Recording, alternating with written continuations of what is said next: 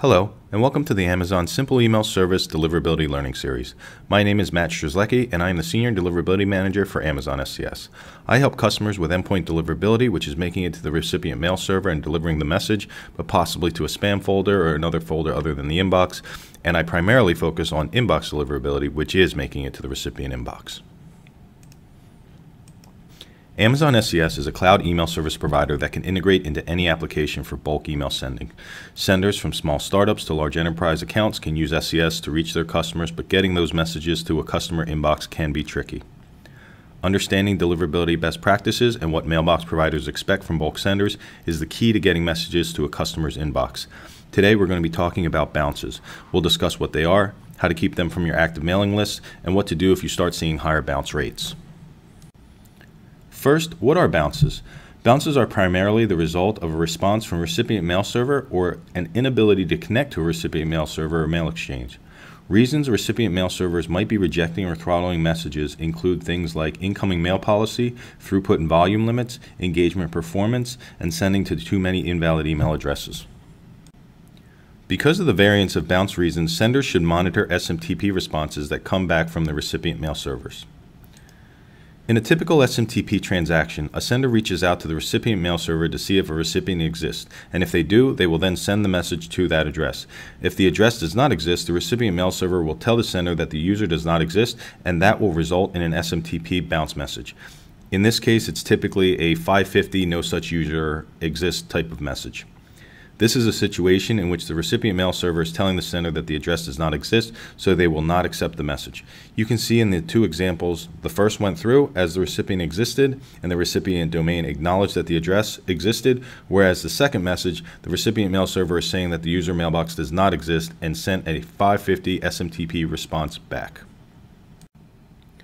If you're seeing bounces when you send mail, it could have a direct correlation with how you have historically built your email list, along with how you manage them long term. The best practice is to organically build an email list and allow recipients to directly opt into the mailing list by confirming their opt in with a closed looped opt in confirmation. This consists of sending an email with a confirmation link to the recipient who is signing up for your mailing list, and the person giving explicit permission to send them on an ongoing basis by the recipient clicking on the confirmation link. This is also a great, great way to keep invalid recipients off your mailing list. Consistent counts and large ratios of invalid email addresses to a recipient mail server shows that the sender does not use the best practice when building or managing lists, and this will negatively impact the sender's reputation to that recipient mail server. Now we're going to go into a few of the different bounce classifications and what they mean to you as a sender. Typically, if they are in the 500 level, it means they are permanent bounces and you should not retry them at this time. These can be the result of a mail server blocking a sender for a variety of reasons. These reasons can include things like poor domain or IP reputation, sending too many messages too quickly, users complaining about the messages at a high rate, or even not having proper authentication records like SPF or DKIM. If they are 400 level bounces, you typically want to retry these messages as these can be indications of mailbox availability issues that may be temporary. It is important to review the response information because the recommendation may be to retry at a later time. For example, you may get a SMTP response that states to retry in 4 hours due to a spike in volume or complaints. 400 level bounces may happen as a result of throttling and deferring, but can also be an indication that the recipient mail server you're trying to reach is down, unavailable, but may be available at a later time. Let's take a look at some specific SMTP bounces. First, let's look at the invalid recipient bounce. When you send a request to a recipient mail server and the address does not exist in their system, they will send back an error similar to this invalid recipient bounce. It is important to keep your invalid recipient rate low as high invalids can contribute to reduced sender reputation. Next is an example of a message that was blocked with a 550 SMTP response code because the sender was not authenticating with SPF or DKIM. This is a great example of looking at the bounce which identified the problem and once SPF or DKIM is implemented, the messages will likely pass through to the recipient on the next attempt. Another example is this 554 bounce for policy reasons.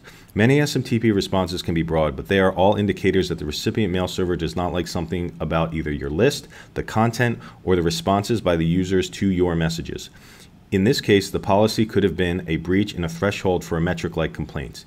Typically, a mailbox provider will have a postmaster page with reasons for certain SMTP responses. This is generally the best place to start your review on how to align with their email policies to deliver messages to their users. At times, mailbox providers ingest data feeds from security companies and third party resources that include some high impact real time block list, otherwise known as RBLs. The next example shows that messages are being blocked by a mailbox provider based on the public RBL listing. This typically happens as a result of spam trap hits or users' complaints to these services about a particular sender. Senders may be mindful of these types of listings as they can cause deliverability issues across many mailbox providers, not just one. The last example we have today is from a throttling bounce with a 421 SMTP code. It is indicating that messages are being deferred due to volume spikes and or user complaints. More information on the bounce code and how this particular mailbox provider views those codes is available in the link included in the bounce message. This is common and a great starting point for figuring out why your messages bounced and what you can do to mitigate the bounce for the future sends. Now we're going to chat about what to do when you start seeing higher counts of any of these bounce types. Let's start with invalid recipient bounces. When you're receiving high invalid recipient bounces, it indicates either bad list building or bad long-term list hygiene.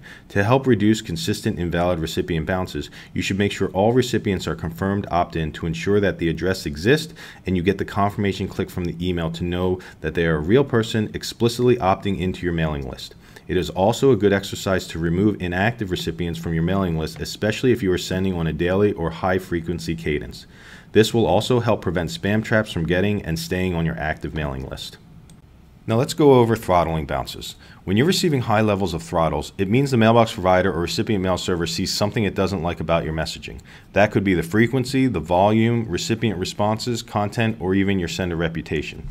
Looking at the SMTP response is the best way to understand why the throttling happened in the first place and what to look for in order to mitigate it.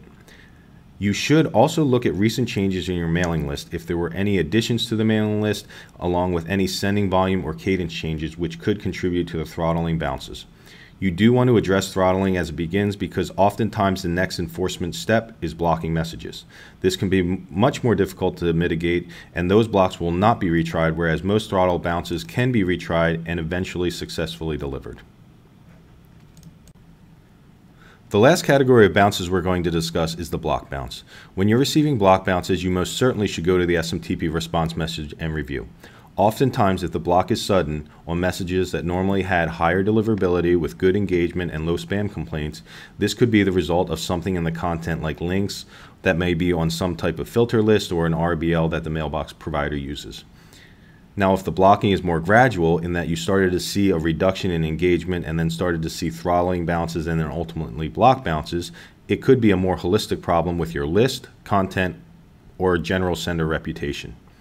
Getting up to date on the best practices for list building and long term list hygiene is your first step to improving your deliverability and reducing both throttling and block bounces in the future. Understanding your recipient mailbox provider and its rules for delivering successfully to their users is also a key to consistent inbox deliverability and reducing bounces long term. Most times, when you've identified what may have caused the block and address that issue, continuing to send using best practices for that mailbox provider should eventually lead to improved deliverability. But there will be times where you will need out to reach out to the provider via a support form and have the block removed. In conclusion, bounces are a communication mechanism in the email world and are used by recipient mail servers to communicate with senders on why a bounce may have occurred and what actions senders can take to mitigate the bounces. Most bounces are an indication that something unusual or at times bad is coming from your mail servers, so it's prudent to take immediate action when you see them. Some bounces can be resolved with a simple form submission in addition to following best practices for list building and management, but other times, bounces can require a sender to change their approach to list and how they send long term. They will need to align with the recipient mail server's expectations of senders and align with their best practices. This is the end of the Amazon SES Email Deliverability Learning Series focused on bounces. Please look for our next Deliverability Learning Series video, which will cover the topic of email complaints. I hope this video has helped you better understand what bounces are and how to reduce them long term. If you have any questions, please post them in the comments below. Thank you for your time.